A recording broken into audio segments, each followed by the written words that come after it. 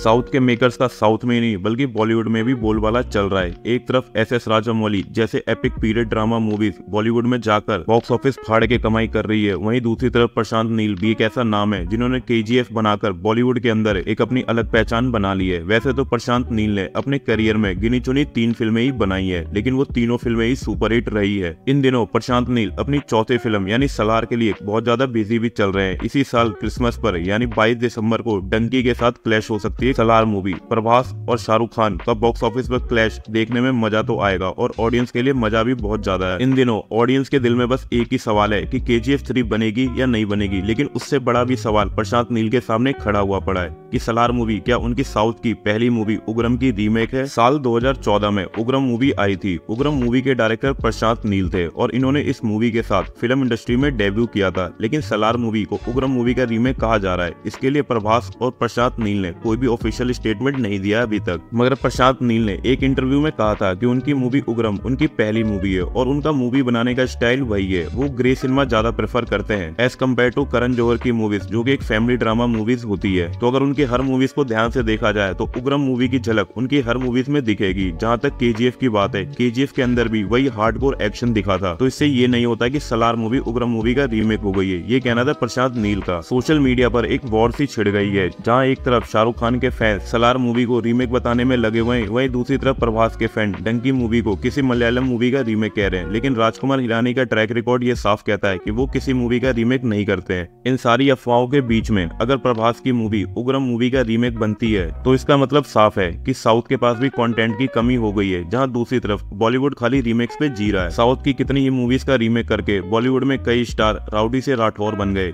अब Salaar movie remake है या नहीं, ये तो रिलीज़ के बाद साफ़ हो जाएगा। लेकिन फ़िलहाल अगर हम बात करें उग्रम मूवी की तो ये मूवी आपको इजिली यूट्यूब पर देखने को मिल जाएगी। अगर आप लोगों ने इसको नहीं देखा है तो इसको देखिए और उसके बाद अगर सलार इसका रीमेक होती है तो आपको खुद हिंट और लिंक दोनों मिल जाएँगे। बाकी अगर आप लोगों को बात सही लगी हो तो वीडियो को लाइक और चैनल को सब्सक्राइब ज़रूर करें और कमेंट करके बताएँ, क्या ये मूवी रीमेक है या फिर डंकी मूवी, किसी मलयालम मूवी का रीमेक है तो मलयालम मूवी कौन सी है?